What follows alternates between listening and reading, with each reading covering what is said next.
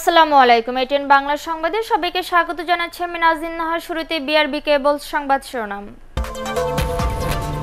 করোনায় ক্ষতিগ্রস্ত পঞ্চাশ লাখ পরিবারকে মোবাইল ব্যাংকিং এর মাধ্যমে আড়াই হাজার টাকা করে নগদ সহায়তা দেয়া শুরু।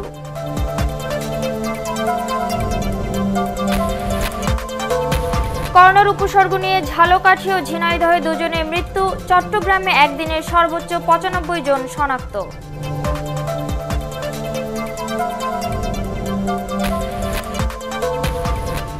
যুক্তরাষ্ট্রে করোনায় মারা গেছে আরও দুই বাংলাদেশি অর্থনৈতিক বিপর্যয়ে বিপাকে প্রবাসীরা।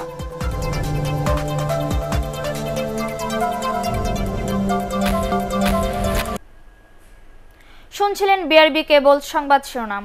সংবাদে এছাড়াও থাকছে গণমাধ্যম কর্মীদের জন্য ফ্রি অ্যাম্বুলেন্স সেবা চালু।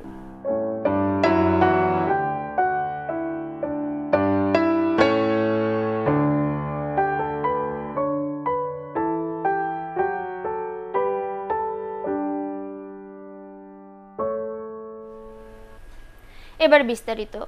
করোনা ভাইরাস পরিস্থিতিতে ক্ষতিগ্রস্ত পঞ্চাশ লাখ পরিবারকে মোবাইল ব্যাংকিংয়ের মাধ্যমে আড়াই হাজার টাকা করে নগদ অর্থ সহায়তা দিতে শুরু করেছে সরকার।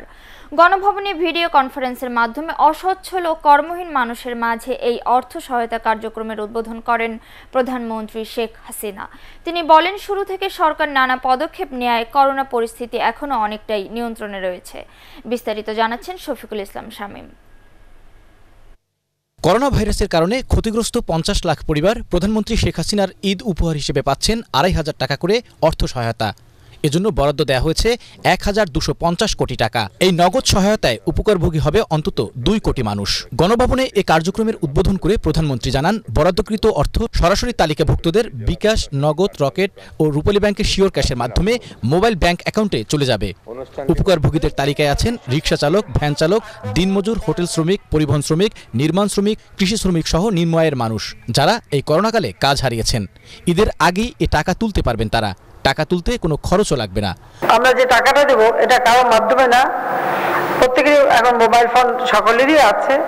এই মোবাইল ফোনের মাধ্যমে সরাসরি টাকাটা সকলের হাতে চলে যাবে। আমরা সেই ব্যবস্থাটাই নিচ্ছি যে মোবাইল ফোনের মাধ্যমে এই টাকা আমরা দিয়ে দিতে চাচ্ছি, যাতে করে মানুষের হাতে সরাসরি টাকাটা পৌঁছে যায়। কোনো মানুষ যেন মানে না খেয়ে কষ্ট না পায়, বিনা চিকিৎসার জন্য না কষ্ট পায় সেদিকে আমরা দৃষ্টি দিচ্ছি। প্রধানমন্ত্রী অসহায়দের পাশে থাকার জন্য বিত্তবানদের প্রতি আহ্বান জানান। তিনি জানান দেশের প্রতিটি জেলা উপজেলায় পর্যাপ্ত স্বাস্থ্য সুরক্ষার ব্যবস্থা করা হয়েছে। বিশ্বের অনেক দেশের তুলনায় বাংলাদেশের জনসংখ্যা বেশি হলেও সরকারের নানামুখী উদ্যোগের ফলে করোনা ভাইরাস এখন নিয়ন্ত্রণে আছে। দেশের মানুষের কীভাবে তাদের খাদ্যের নিরাপত্তা তাদের জীবন মান নিশ্চিত রাখা তাদের জীবনটাকে সচল রাখা অর্থনীতিটাকে গতিশীল রাখা আমরা কীভাবে করতে পারি সেই চিন্তাটাই সবসময় আমাদের মাঝে রয়েছে আমরা শুরু থেকে বিভিন্ন পদক্ষেপ নিয়েছি।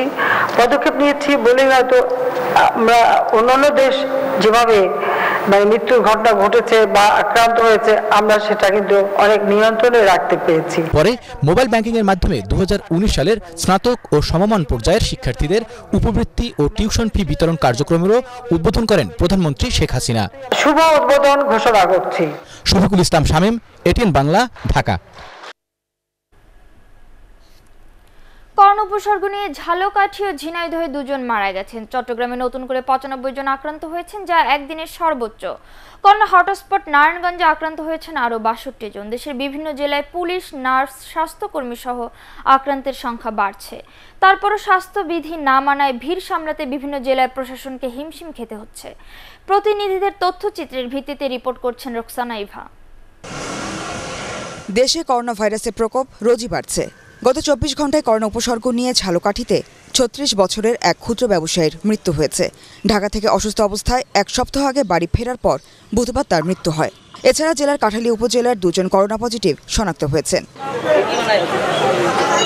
এদিকে ঝিনাইদহের কালীগঞ্জের কাশীপুর গ্রামে করোনার উপসর্গ নিয়ে এক গার্মেন্টস কর্মী মারা গেছেন।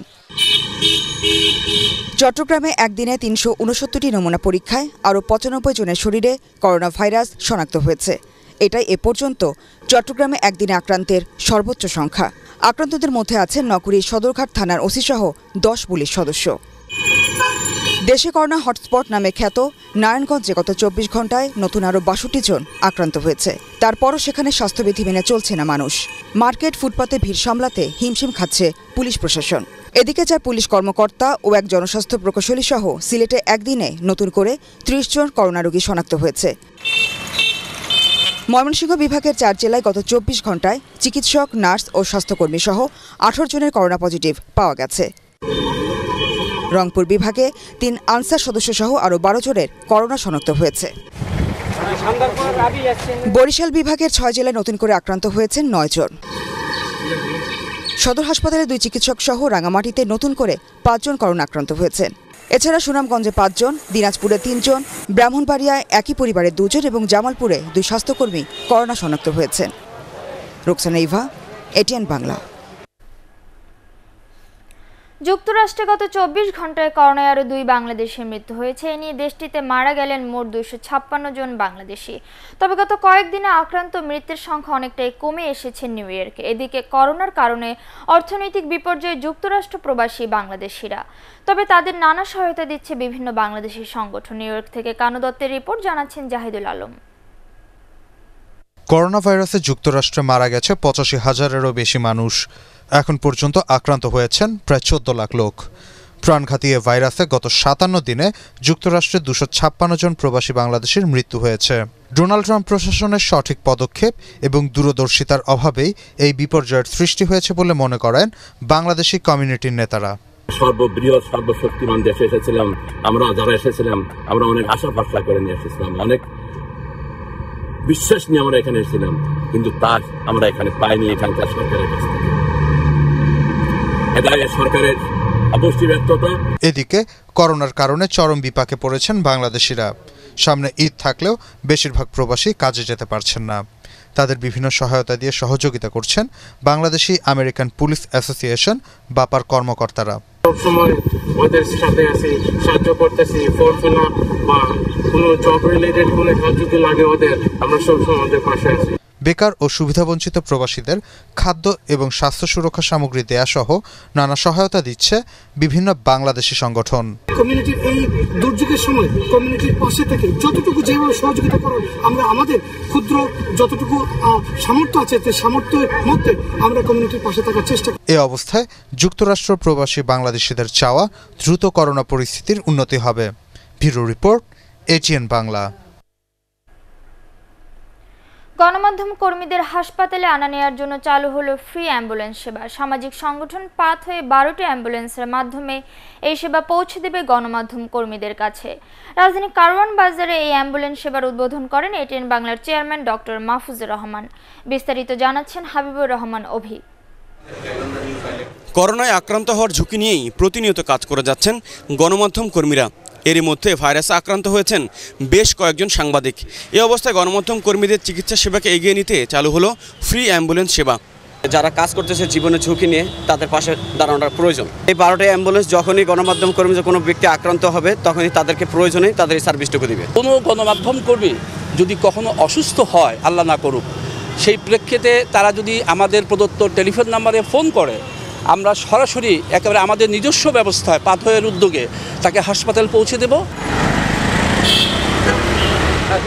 সামাজিক সংগঠন পাথওয়ের এমন উদ্যোগের প্রশংসা করেন ATN Bangla chairman doctor Mahfuzur Rahman. সাংবাদিক ও চিকিৎসক সহ করোনার ঝুঁকি নিয়ে যারা কাজ করছেন তাদের সহযোগিতা করতে সরকারের পাশাপাশি বেসরকারি সংস্থাগুলোকেও এগিয়ে আসার আহ্বান জানান তিনি। এই অ্যাম্বুলেন্সগুলির নাম্বার প্রতিটা সাংবাদিকদের কাছে আমরা পৌঁছায় দেব। সাংবাদিক ভাইরা যদি কোনো সময় কোনো করোনা ভাইরাসে যদি আক্রান্ত হয়, সঙ্গে সঙ্গে বিনা পয়সা বিনা খরচায় তাদেরকে নিয়ে আসবে, তাদেরকে হসপিটালে ভর্তি করার ব্যবস্থা করা হবে। বিত্তবান লোকদেরকে আমি আহ্বান করব, সবাই যেভাবে যে পারে, যে যেন এগিয়ে আসে আজকের এই করোনা পরিস্থিতির জন্য। আমাদের দেশের যে অবস্থা সরকার করে যাচ্ছে, কিন্তু তার সঙ্গে সঙ্গে যদি আমরা সবাই মিলে যদি একত্রিত হয়ে যদি না করতে পারি, তাহলে এই সমস্যার থেকে আমরা পার পাবো না। অ্যাম্বুলেন্স সেবা পেতে গণমাধ্যম কর্মীদের যোগাযোগ করতে হবে পাথওয়ের হটলাইন নাম্বারে। শূন্য এক সাত সাত সাত এক ছয় দুই ছয় এক নয়। এছাড়াও এটিএন বাংলার অফিসে যোগাযোগ করেও এ সেবা পাওয়া যাবে। হাবিবুর রহমান অফি এটিএন বাংলা ঢাকা। এবার আল আরাফা ইসলামী ব্যাংক অর্থ সংবাদ।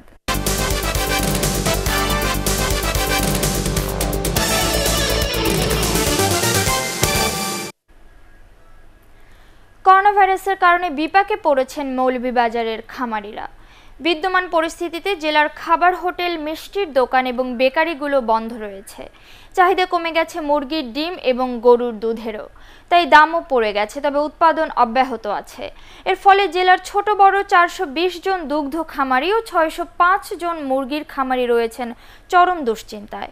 অনেকে ব্যাংক ঋণে জর্জরিত। তবে করোনার প্রভাব কেটে গেলে এসব খামারিদের ক্ষতিপূরণের বিষয়টি ঊর্ধ্বতন কর্তৃপক্ষকে জানানোর প্রতিশ্রুতি দিয়েছেন জেলা প্রাণী সম্পদ কর্মকর্তা। স্ট্যান্ডার্ড ব্যাংক বাণিজ্য সংবাদ।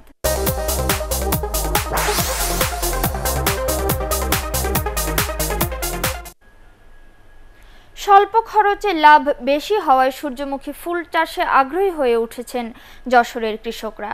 এবছর জেলায় দশ হেক্টর জমিতে পরীক্ষামূলকভাবে সূর্যমুখী ফুলের চাষ হয়েছে। ফলনও হয়েছে বেশ ভালো। যশোর কৃষি সম্প্রসারণ অধিদপ্তরের উপপরিচালক ডক্টর আখতারুজ্জামান জানান প্রতি বিঘায় এগারো থেকে বারো মন সূর্যমুখী বীজ উৎপাদিত হয়, যার বর্তমান বাজার দর মন প্রতি প্রায় আড়াই হাজার টাকা। এছাড়া সূর্যমুখীর খৈল, গরু ও মহিষের উৎকৃষ্ট মানের খাদ্য গাছের অন্যান্য অংশ জ্বালানি হিসেবে ব্যবহৃত হয়। পার্টেক্স খেলার খবর।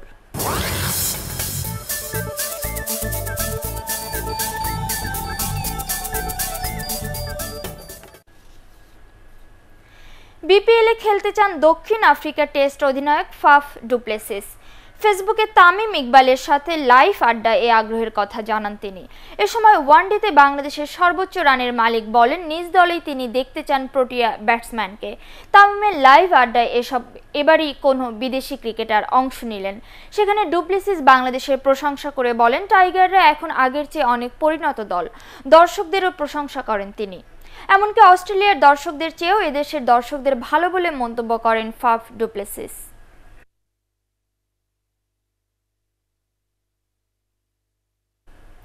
দর্শক, এই ছিল এখনকার মতো সংবাদ। পরবর্তী সংবাদ দেখার আমন্ত্রণ জানিয়ে শেষ করছি। সবাই ঘরে থাকুন, নিরাপদে থাকুন। এটিএন বাংলা সংবাদ, ইউটিউবে দেখতে ব্রাউজ করুন, YouTube slash ATN Bangla news